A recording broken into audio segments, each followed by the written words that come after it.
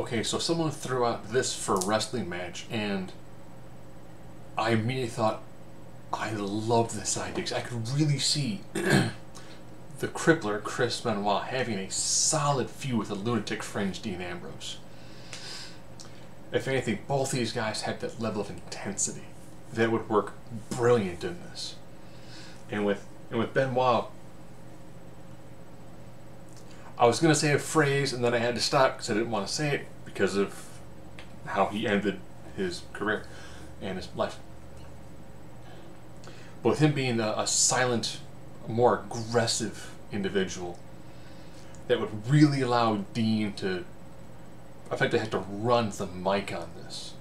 That's when Dean's strong. I think Dean would do a phenomenal job running running the mic on this.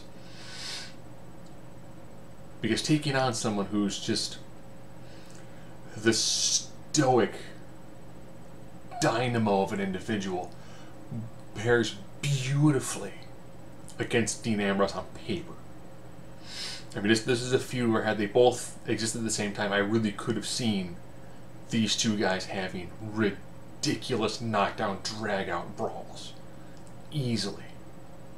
So, let's go through this. Strength.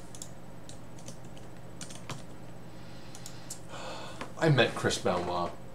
And when Chris Benoit gave you a handshake, you felt your whole upper body move in the process. He was ridiculously strong. This is a man who was, you know, he people like Lesnar and was able to match power with someone like Lesnar. He was an absolute dynamo. Man, the people he was chucking around with suplexes just were amazing to see. Speed. You know?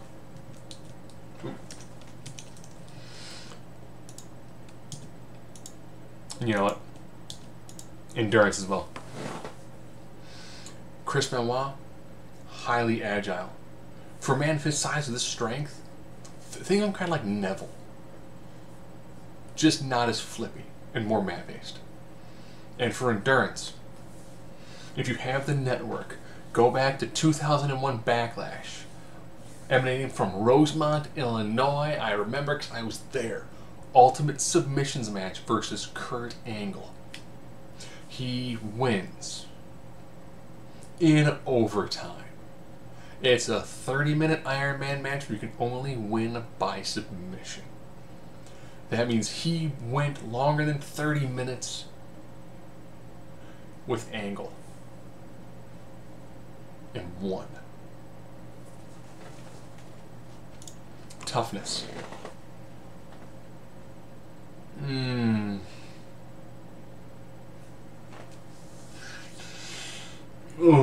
In in the E, Chris Benoit took some ridiculously horrendous bumps. I remember he's taking on I think it was Booker T on SmackDown. He went for his uh, his suicide dive, and I think Booker T kind of like hip tossed him, and he went small of back first into the announce table. As well as a lot of the, the chair shots that he took. But I'm giving it to Dean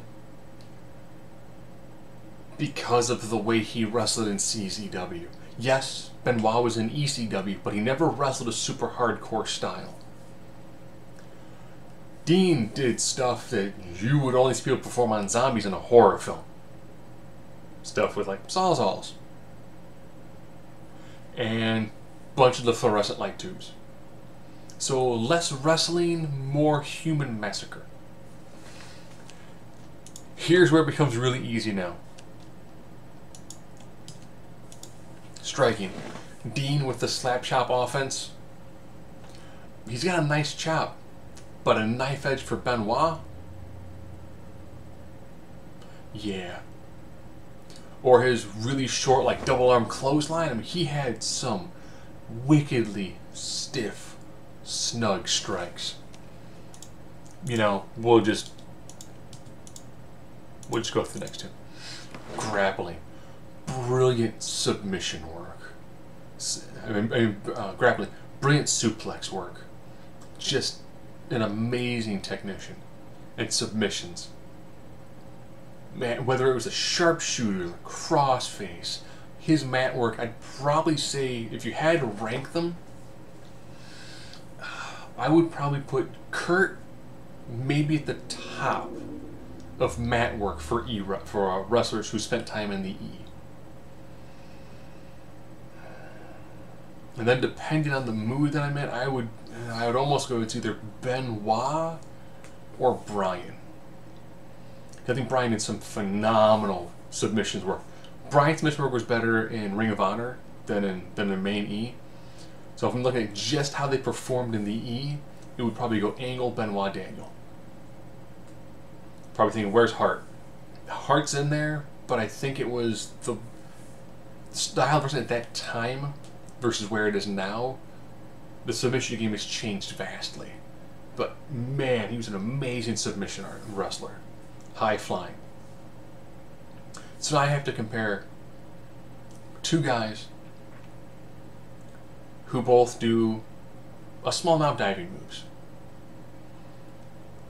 Dean Ambrose, elbow drop. Standing an opponent, pulling on the ground, pulling outside, elbow drop. And a, a pretty decent, I hate saying suicide dive, and a pretty decent suicide dive.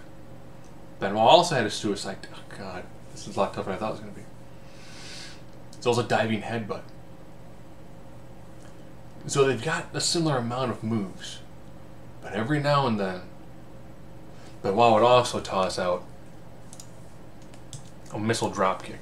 I haven't seen Dean do one yet. Doesn't mean that he can't. I Haven't seen him do one yet. Over with the crowd. I know, I know, I know what you're thinking. I know what you're thinking. Benoit always had a nice reaction from the crowd. His loudest reaction was, of course, then at WrestleMania 20 when he was champion and Eddie in the ring with him because everybody loved Eddie. And I think Benoit had a very good crowd reaction. Music hits for Dean, place place erupts well.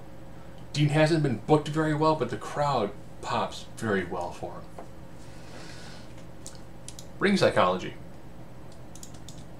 Hear me out on this. Hear me out on this. Hear me out on this.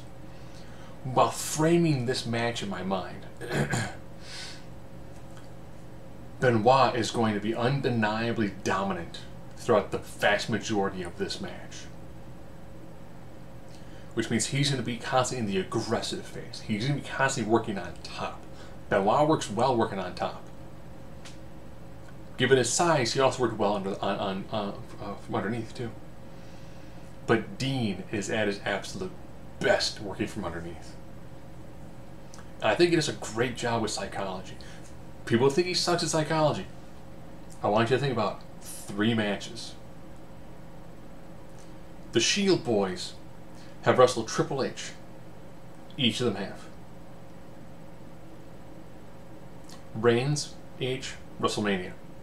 Was it an amazing match? Anything but the match when you go, man, that was a solid match. Rollins, Triple H. Most recent WrestleMania. Good match. Now, Ambrose, Triple H, Roadblock, which was the event before Triple H took on Roman Reigns. That match is probably one of my favorite Triple H matches in a long time. And I love Triple H. I have one of his logos and a signature tattooed on me, so I dig me some Triple H. And I thought that those two, that was a match that made Dean Ambrose. They squandered it right afterwards, but that match made Dean Ambrose. Whether it's him working a slightly more submission game, grabbing a hold of the nose of Triple H trying to rip it off, I mean, he worked a beautiful match.